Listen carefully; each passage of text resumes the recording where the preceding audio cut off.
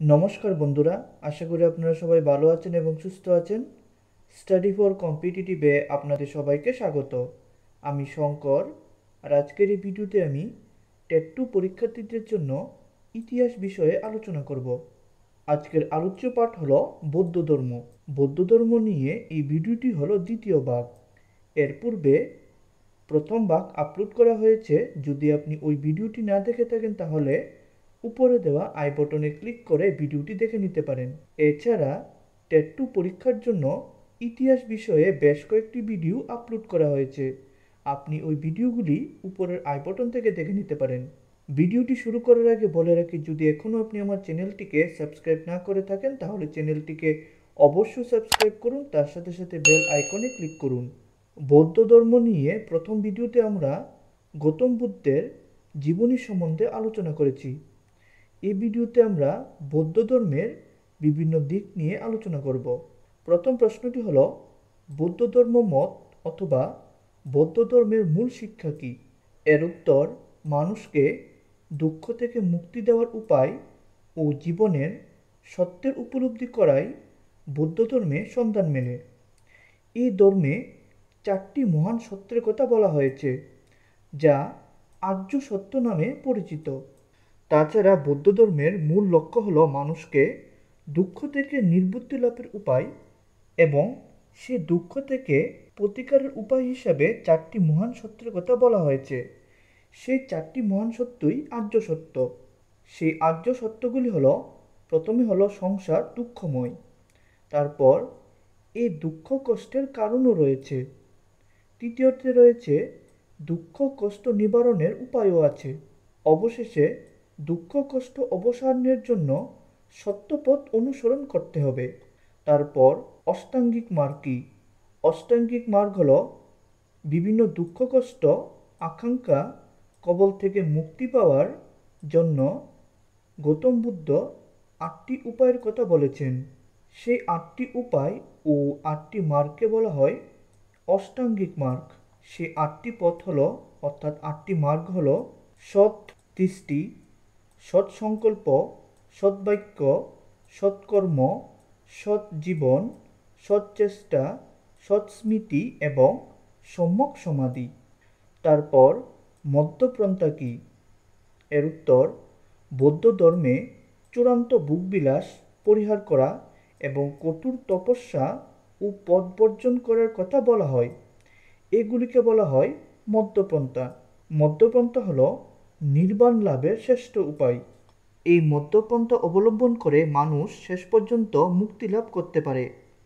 এই মুক্তিকে বৌদ্ধরা নির্বাণ বলেন। নির্বাণের অর্থ হল আকাঙ্ক্ষা নিবৃত্তির সাথে আত্মসমাহিত পূর্ণতা ও জীবন অর্জন। তারপর বৌদ্ধ ধর্ম এর নৈতিক উপদেশ কী? এর উত্তর বৌদ্ধ ধর্মে কয়েকটি নৈতিক উপদেশের কথাও বলা হয়েছে। এর মধ্যে প্রথম হলো পঞ্চশীল। পঞ্চশীল হলো হিংসা পরস্কোপহরণ বেবিচার, মদ্যপান, মিথ্যাবাসন থেকে বিরত থাকা। তারপর হলো সমাধি। সমাধি হলো মনসংযোগ। কোনো ইতিবাচক বিষয়ে মনসংযোগ করে রাখা। অবশেষে রয়েছে প্রজ্ঞা। প্রজ্ঞা হলো অন্তদৃষ্টি তারপর বৌদ্ধ ধর্মের প্রধান ধর্মগ্রন্থের নাম কি? এর উত্তর বৌদ্ধ ধর্মের প্রধান ধর্মগ্রন্থের নাম হলো ত্রিপিটক। এখানে এই পিটক কথার অর্থ হল পাত্র বা চুরি।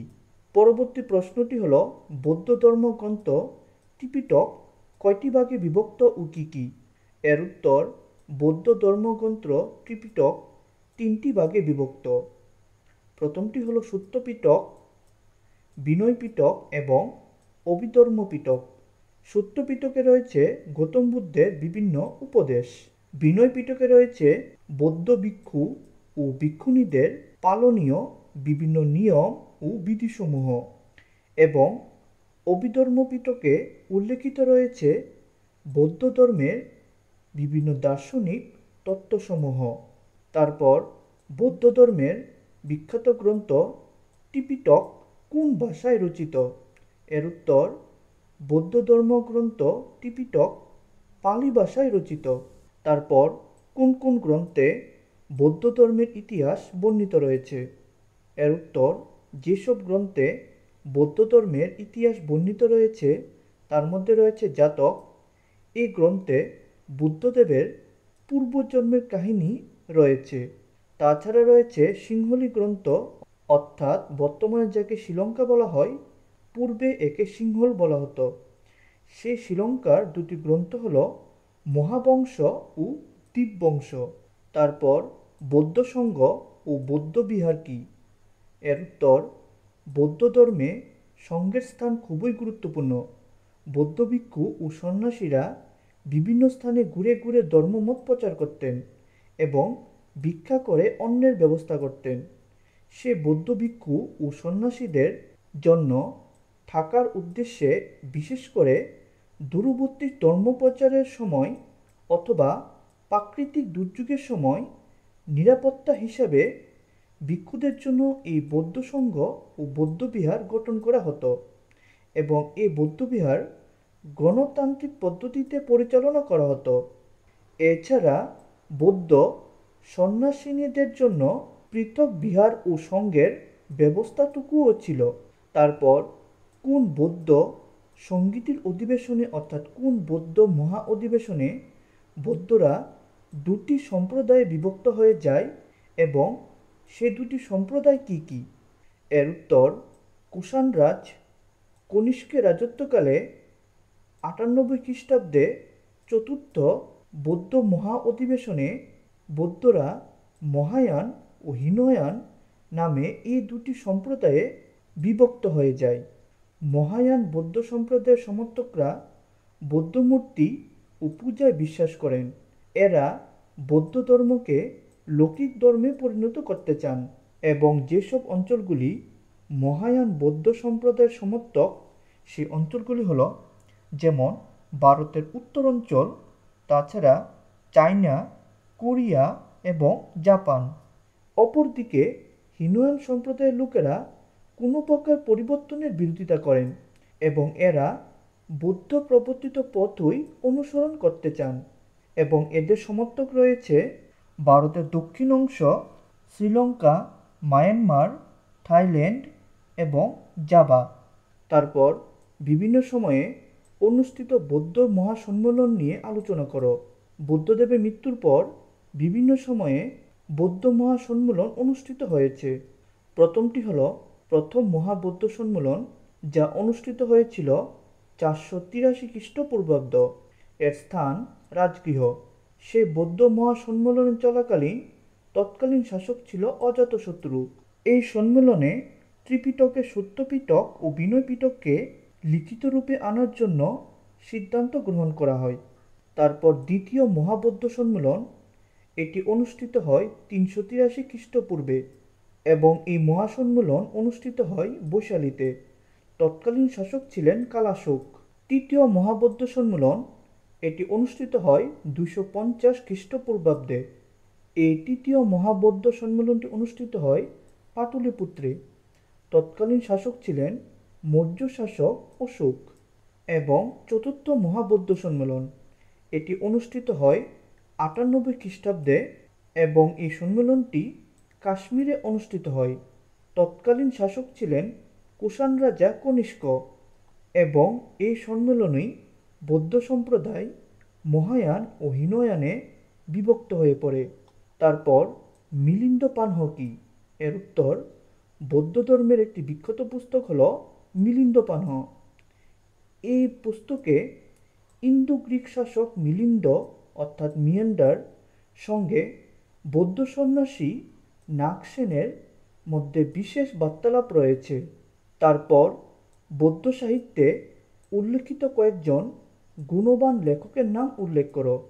এর উত্তর, বৌদ্ধ সাহিত্যে উল্লেখযোগ্য কয়েকজন লেখকের নাম হল অশ্বঘোষ, বসুমিত্র, বুদ্ধঘোষ ও নাগার্জুন।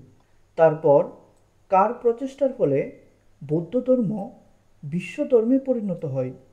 এর উত্তর বিখ্যাত মৌর্য শাসক অশোকের প্রচেষ্টার ফলে বৌদ্ধ ধর্ম বিশ্ব ধর্মে পরিণত হয়।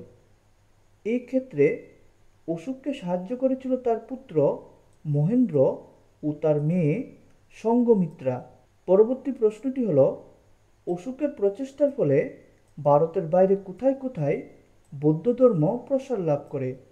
এর উত্তর, অশোকের প্রচেষ্টার ফলে ভারতের বাইরে যে যে স্থানে বৌদ্ধ ধর্ম প্রসার লাভ করে সেই স্থানগুলি হল সিংহল, যা বর্তমানে শ্রীলঙ্কা, পশ্চিম এশিয়া, মিশর ও পূর্ব এশিয়া। তারপর বৌদ্ধ সম্প্রদায়ের দুটি গোষ্ঠীর মধ্যে হিনয়ান গোষ্ঠীর প্রভাব কোন কোন অঞ্চলে রয়েছে? এর উত্তর, ভারতের দক্ষিণ অঞ্চল শ্রীলঙ্কা, মায়ানমার, থাইল্যান্ড ও জাভা অঞ্চলে। পরবর্তী প্রশ্নে রয়েছে বৌদ্ধ সম্প্রদায়ের মহায়ান গোষ্ঠীর প্রভাব কোন কোন অঞ্চলে রয়েছে? এর উত্তর ভারতের উত্তরাঞ্চল, চীন, কোরিয়া ও জাপান। তারপর অস্তাথানস কি এর উত্তর অস্তাথানস হল বৌদ্ধ ধর্মের সঙ্গে সম্পর্কিত কিছু দর্শনীয় আটটি প্রবৃত্ত স্থান। সে স্থানগুলি হল, যেমন বৌদ্ধের জন্মস্থান লুম্বিনী বুদ্ধদেব যেখানে ধ্যান করেন, বুদ্ধগয়া, বুদ্ধদেব যেখানে তার প্রথম ধর্মমত প্রচার করেন সারনাথ বুদ্ধদেব যেখানে তার দেহত্যাগ করেন, কুশীনগর, তাছাড়া রয়েছে শ্রাবস্তি, রাজগৃহ, বৈশালী ও শঙ্কাশ্যা তারপর বৌদ্ধ স্থাপত্যকলা সম্বন্ধে লিখো। এর উত্তর, বৌদ্ধ স্থাপত্যকলা তিনটি বিষয়ের উপর নির্ভরশীল। সে তিনটি বিষয় হলো স্তূপ, অর্থাৎ স্তূপা, চৈত্য ও বিহার। স্তূপ ও স্তূপাতে রয়েছে বুদ্ধদেব ও বৌদ্ধ ধর্মের প্রসিদ্ধ সন্ন্যাসীদের দেহাবশেষ রূপে চুল, নখের অংশ ও অন্যান্য কিছু জিনিস সংরক্ষিত রয়েছে। চৈত্য হল প্রার্থনা করার জায়গা। বিহার বৌদ্ধ সন্ন্যাসীদের থাকার জায়গা। তারপর বৌদ্ধ শিক্ষা প্রসারকারী কয়েকটি প্রাচীন ভারতের বিশ্ববিদ্যালয়ের নাম করো এর উত্তর, বৌদ্ধ শিক্ষা প্রসারকারী কয়েকটি প্রাচীন বিশ্ববিদ্যালয়ের নাম হলো, প্রথমে রয়েছে নালন্দা বিশ্ববিদ্যালয়, যা প্রতিষ্ঠিত হয়েছিল বিহারে, এবং এর প্রতিষ্ঠাতা হলেন গুপ্ত শাসক কুমারগুপ্ত বিক্রমশিলা বিশ্ববিদ্যালয় এটিও বিহারে অবস্থিত ছিল, এবং এর প্রতিষ্ঠাতা হল পাল শাসক ধর্মপাল। সোমাপুরী এটি উত্তরবঙ্গে অবস্থিত এবং এর প্রতিষ্ঠাতা পাল শাসক ধর্মপাল। অদন্তপুরী এটি বিহারে অবস্থিত এবং এর প্রতিষ্ঠাতা হল পাল শাসক গোপাল। জগদাল এটি বাংলায় অবস্থিত ছিল এবং এর প্রতিষ্ঠাতা পাল শাসক রামপাল। বল্লভী এটি গুজরাটে অবস্থিত ছিল এবং এর প্রতিষ্ঠাতা হল মৈত্রক শাসক বাট্টারকা। তারপর অশোক ছাড়া কোন কোন শাসক বৌদ্ধ ধর্মের প্রতি পৃষ্ঠপোষকতা ছিল? এর উত্তর, অশোক ছাড়া যে যে শাসক বৌদ্ধ ধর্মের প্রতি পৃষ্ঠপোষকতা ছিল সেই সব শাসকগুলি হল যেমন মগধের শাসক বিম্বিসার ও অজাতশত্রু, কোশলের শাসক প্রসেনজিৎ, বৎসর শাসক উদয়ন, অবন্তী শাসক পদ্যুৎ মৌর্য শাসক অশোক ও দশরথ। ইন্দো গ্রিক শাসক মিলিন্দ। কুষাণ শাসক কনিষ্ক। এখানে একটা কনিষ্ক হবে। পুষ্পবতী শাসক হর্ষবর্ধন। পাল বংশের শাসক গোপাল, ধর্মপাল ও রামপাল। বৌদ্ধ ধর্ম নিয়ে ভিডিওটি এখানে সমাপ্ত হলো।